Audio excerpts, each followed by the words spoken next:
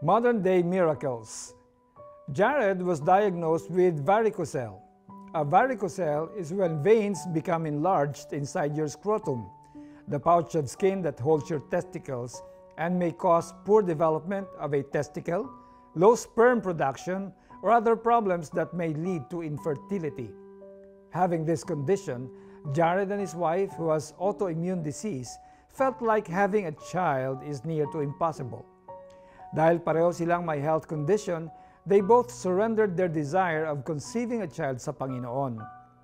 Lo and behold, God gave them a miracle baby through normal delivery. And all throughout his wife's pregnancy, hindi umatake kahit minsan ang autoimmune disease nito na isa din sa kanilang concern. What a miracle! Why can we believe that miracles still do happen up to this modern day? First of all, it's because we have a miracle working God. During the time of Moses, God performed many miracles, among them when He divided the waters para makatakas ang mga Israelite mula kay Pharaoh ng Egypt. Jesus also performed various miracles by turning water into wine, healing the sick, and raising the dead. And this miracle working God revealed that He never changes and that He never lies.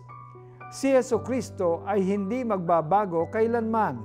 Siya ay kahapon, ngayon at bukas.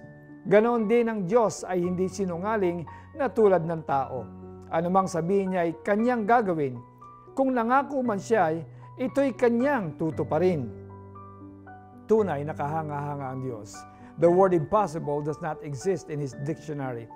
However, let us not forget to acknowledge His sovereignty and allow Him to do things His way. Tayo po'y manalangin. Dear Lord, thank you for reminding me that you are still in the business of performing miracles. I submit to your sovereign will at umaasa ako na gagawa kayo ng miracles sa aming buhay kung kinakailangan. Thank you, Jesus. Application Are you waiting for a miracle? Or do you know someone who needs a miracle? Pray for that person at i-share mo na rin sa kanya ang devotional na ito for encouragement. Tiningnan sila ni Jesus at sinabi sa kanila, hindi ito kayang gawin ng tao.